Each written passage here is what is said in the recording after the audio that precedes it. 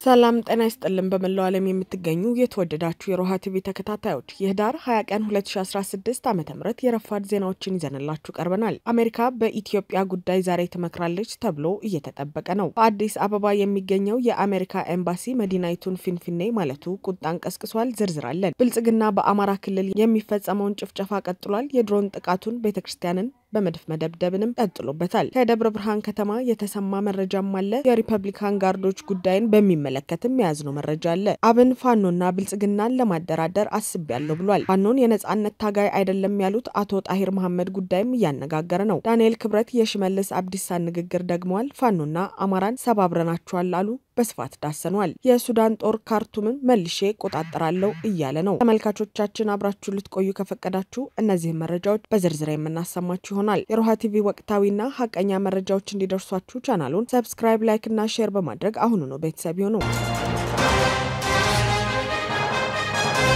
የአሜሪካ የታችኛው ሕግ አውጪ ምክር ቤት የውጭ ጉዳይ ንዑስ ኮሚቴ በኢትዮጵያ ጉዳይ ሊመክር ነው። የአሜሪካ የታችኛው ሕግ አውጪ ምክር ቤት የውጭ ጉዳይ ንዑስ ኮሚቴ በኢትዮጵያ ወቅታዊ ሁኔታ ላይ ዛሬ ምክክር ያደርጋል የሚል መረጃ ወጥቷል። ምክክሩ በኢትዮጵያ በአሁኑ ወቅት በሚታዩ ስጋቶች እንዲሁም አሜሪካ ኢትዮጵያ ላይ በምትከተለው ፖሊሲ ዙሪያ ያተኮረ እንደሆነ ምክር ቤቱ ባሰራጨው መረጃ ገልጿል። ለንዑስ ኮሚቴው በጉዳዩ ላይ ምስክርነታቸውን እንዲሰጡ የተጋበዙት በአፍሪካ ቀንድ የአሜሪካ ልዩ ልዑክ ማይክ ሀመር እና በአሜሪካ ዓለም አቀፍ ተራድኦ ድርጅት ዩኤስአይድ የአፍሪካ ቢሮ ረዳት ኃላፊ ቴለር ቤክልማን ናቸው። የአሜሪካ ኤምባሲ አዲስ አበባን ፊንፊኔ ብሎ በመጥራቱ ተቃውሞ ተነሳ። በአዲስ አበባ ከተማ የሚገኘው በኢትዮጵያ የአሜሪካ ኤምባሲ የቪዛና ሌሎች አገልግሎቶችን አስመልክተው ባለፈው ሳምንት ረቡዕ በማህበራዊ የትስስር ገጹ ላይ በአፋን ኦሮሞ ባወጣው ማስታወቂያ አዲስ አበባ በሚለው የርዕሰ መዲናይቱ ስያሜ ፈንታ ፊንፊኔ የሚለውን አጠራር መጠቀሙን ተከትሎ ከኢትዮጵያውያን የሲቪክ ማህበረሰቦች ተቃውሞ አሰምተዋል። ሀያ ሁለት የሚሆኑና በአብዛኛው ነዋሪነታቸውን በውጭ ሀገራት ያደረጉ ኢትዮጵያውያን ሲቪክ ድርጅቶች ለአሜሪካ የውጭ ጉዳይ ሚኒስትር አንቶኒ ብሊንከን ባለፈው ቅዳሜ በላኩት የተቃውሞ ደብዳቤ በአዲስ አበባ በሚገኘው የአሜሪካ ኤምባሲ አጨቃጫቂ ሆነውና በአክራሪ የኦሮሞ ቡድኖች የሚቀነቀነው ፊንፊኔ የሚለውን ስም በመጠቀሙ ቁጣችንን እንገልጻለን ብለዋል። ደብዳቤው ቀጥሎም ኢትዮጵያውያን በብሔር ጥላቻ ላልተበከለ እውነተኛ ዴሞክራሲ በሚታገሉበት ወቅት ኤምባሲው ያስተላለፈው መልእክት በኢትዮጵያውያን ክብርና ኩራት ላይ የተቃጣ ስድብ ብቻ ሳይሆን ግልጽ የሆነ የዲፕሎማ ዲፕሎማሲ ስርዓትን የጣሰ ድርጊት ነው ሲል ተቃውሞውን ገልጿል። በኢትዮጵያ አሁን እየታዩ ካሉት ችግሮች አንጻር የኤምባሲው የስም አጠቃቀም በማህበረሰቦች መካከል ግጭትን የሚያበረታታና የኢትዮጵያ ሕዝብ በአሜሪካ ላይ ያለውን ገለልተኛ የሆነ የአስታራቂነት ሚና በተመለከተ እንዳይተማመን የሚያደርግና በሀገሪቱም ሆነ በቀጠናው በሚኖረው መረጋጋት ላይ አሉታዊ ተጽዕኖ የሚያስከትል ነው ሲልም አክሏል። ኤምባሲው መልእክቱን ያስታወቀበትን የርዕሰ መዲናዋ ስያሜ መልሶ እንዲስብ የኢትዮጵያውያን ሕዝብ ይቅርታ እንዲጠይቅና ወደፊት እንዲህ ኃላፊነት የጎደለው ተመሳሳይ መልእክት ከማስተላለፍ እንዲቆጠብ ደብዳቤው ጠይቋል። ብልጽግና አማራን በድሮን መጨፍጨፉን እንደቀጠለ ነው። በአማራ ህዝብ እየተካሄደ ያለው ውጊያ እየቀጠለ ሲሆን ብልጽግናም ንጹሐን አማራዎችን በድሮንና በከባድ መሳሪያ መጨፍጨፉን ቀጥሏል። በዚህም በትናንትናው ዕለት በወሎ ላስታና አይና ቡግና በሶስት ተከታታይ የድሮን ጥቃት ከ20 በላይ ሰላማዊ ዜጎች መገደላቸው ታውቋል። በተመሳሳይ በደብረ ማርቆስ አቅራቢያም እንዲሁ በድሮን ጥቃት የአምስት ሰላማዊ ዜጎች ህይወት እንደጠፋ ተሰምቷል። በሌላ በኩል ደግሞ ብልጽግና በንጹሐን ህዝብ ላይ ከባድ መሳሪያ በመተኮስ የእምነት ተቋማትንና ምዕመናንም ብሎም የቤተ እምነት አገልጋዮችን ገሏል። በሰሜን ወሎ ሀገረ ስብከት ሀብሩ መርሳ ወረዳ ጋቲራ ደብረ ፀሐይ ቅዱስ ጊዮርጊስ ቤተ ክርስቲያን ላይ በተኮሰው ከባድ መሳሪያ ዘጠኝ ሰዎች ላይ ጉዳት አድርሷል። ህዳር 18 ቀን ምሽት 11 ሰዓት የሰርክ ጉባኤ ትምህርት ላይ ያሉ ወደ ቤተ ክርስቲያኑ በተተኮሰ ከባድ መሳሪያ ዘጠኝ ካህናትና ጸበልተኞች መቁሰላቸውን የተነገረው በትምህርታዊ ጉባኤ ላይ ያሉ በቤተ ክርስቲያኑ ቅጥር ግቢ በቤተልሔሙና በጸበልተኛ መጠለያ ቤቶች በርካታ ከባድ መሳሪያ ያረፈ ሲሆን በደብሩ አስተዳዳሪ ሰባኪ ወንጌልና በጸበልተኛ ህሙማን ላይ ከባድና ቀላል የመቁሰል አደጋ መድረሱን ከወረዳ ቤተ ክህነቱ የተገኘ መረጃ ያመለክታል። የሀብሩ መርሳ ወረዳ ቤተ ክህነት ዋና ጸሐፊ እንደገለጹት ጉዳት የደረሰባቸው ወገኖች በውርጌሳ ጤና ጣቢያ መታከማቸው መሞታቸውንና ሶስት ሰዎች ለከፍተኛ ሕክምና ወደ ደሴና ወልዲያ ሪፈራል ሆስፒታል መላካቸውን ገልጸዋል። የከባድ መሳሪያ ተኩስ በአካባቢው መቀጠሉን የገለጹት ዋና ጸሐፊው የአብነት ተማሪዎችና ለጸበል የመጡ ህሙማን ከቤተ ክርስቲያን ወጥተው ተበትነዋል ብለዋል። በተመሳሳይ በሰሜን ወሎ ሀገረ ስብከት ጋዛ ወረዳ ቤተ ክህነት ብራፋፍ ቅድስት ማርያም ቤተ ክርስቲያን ህዳር 16 ቀን በከባድ መሳሪያ ጥቃት ሶስት ካህናት ከባድ ጉዳት ደርሶባቸዋል። በሌላ የክልሉ መረጃ ደግሞ ጠቅላይ ሚኒስትር አብይ አህመድ ለግል አገልጋይነትና ዙፋን አስጠባቂነት ያሰለጠኗቸው የሪፐብሊካን ጋርዶች በሰሜን ሸዋ ደብረ ብርሃን ንጹሐንን እያፈኑና እየገደሉ መሆኑ ተሰምቷል። እነዚህ ኃይሎች በከተማዋ ወጣቶችንም ሆነ ሌሎች ነዋሪዎችን መውጫ መግቢያ ማሳጠታቸውን የተነገረው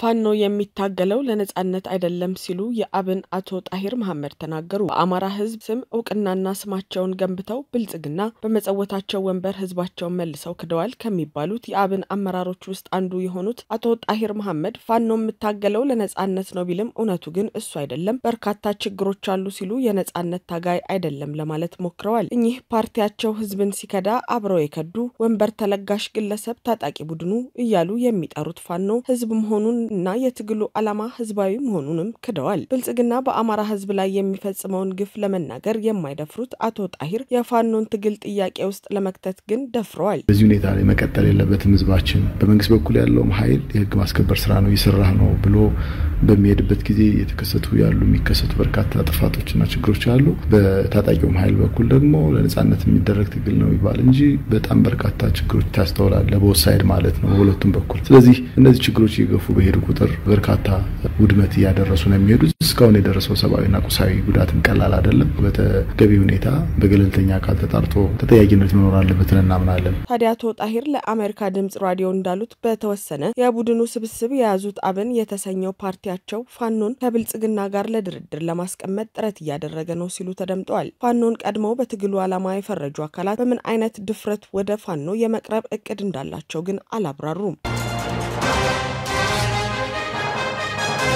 የተሰባበረ መንግስትና ጦር የቀራቸው እነ ዳንኤል ክብረት ፋኖና አማራን ሰባብረነዋል አሉ። ተረታቸው እጅ እጅ ያለባቸው ዳንኤል ክብረት አንዴ በተረት ሌላ ጊዜ ደግሞ በፉጨት የአማራን ሕዝብ ተጋድሎ ለማዳከም ሞክረዋል። ዳሩ ባይሳካላቸውም ላለፉት አራትና አምስት ወራት ለፋኖ የሚያወጡት ስያሜ ባይጸናላቸው፣ ተረታቸው ባይሰምርላቸው አማራን እንደ ሕዝብ እስከ መዝለፍ ደርሰዋል። እኚህ ግለሰብ አገልጋይነታቸው ጥያቄ ውስጥ እንዳይገባ በአማራ ሕዝብ ጥያቄ ላይ ተሳልቀዋል። ታዲያ በዛሬው ዕለት ባሰፈሩት የብልጽግና እጅ መንሻ ጽሁፍ ለአማራ ህዝብ ተቆርቋሪ መስለው ለመታየት ሞክረዋል። የሚያገለግሉት ፓርቲ አማራን ገበሬ ማዳበሪያ ከልክሎ ጦር አዝምቶ ከግብርናው ካናፈጠው በኋላ አጨዳ ደርሶበታል ይላሉ። በክረምቱ እርፍ መጨበጥ የነበረበትን አራሽ ገበሬ ክላሽ አስይዘው ተኳሽ ወታደር ካደረጉት በኋላ ይህ ወቅት አዝመራ የሚሰበሰብበት ወቅት ነው ማለት ጀምረዋል። ብልጽግና ሳይሰራ ውጤት እንደሚጠብቀው የአማራን ገበሬም ካዘሩት ምርት ለመሰብሰብ ይጠይቁታል። በትግል ውስጥ ሆኖ የዘራትንም በከባድ መሳሪያ እያነደዱ ዷት መሆኑን ይዘነጉታል። ከሰሞኑ ህዝባዊ መሰረተ ልማቶችን ወደ ማፍረስና